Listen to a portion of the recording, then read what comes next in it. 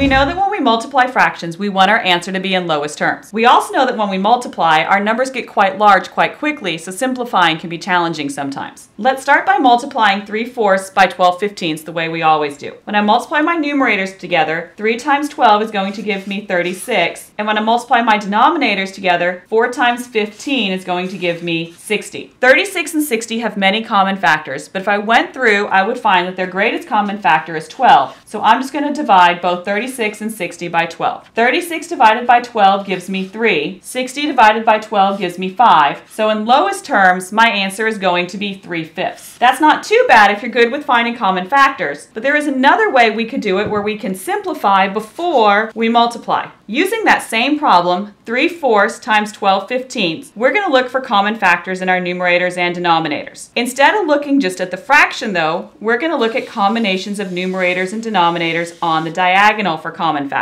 Let's start by looking at 3 and 15. Factors of 3 include 1 and 3. Factors of 15 include 1, 3, 5, and 15. Since they both have a common factor of 3, I can divide both the 3 by 3 and get 1, and the 15 15 by 3 and get 5. Now, instead of using 3 and 15 in my problem, I can use 1 and 5 because I've already simplified. Let's do the same thing looking at the 4 and 12 on the diagonal. Factors of 4 include 1, 2, and 4. Factors of 12 include 1, 2, 3, 4, 6, and 12. They both have a greatest common factor of 4, so I can divide both the 4 and the 12 by 4. 4 divided by 4 gives me 1. 12 divided by 4 gives me 3. So instead of using the 12 and the 4 in my problem, I can use the 3 and 1. I can multiply with those simplified values. 1 times 3 gives me 3, 1 times 5 gives me 5, and by canceling out and doing my simplifying first, I come to the same conclusion of 3 fifths that I came to originally.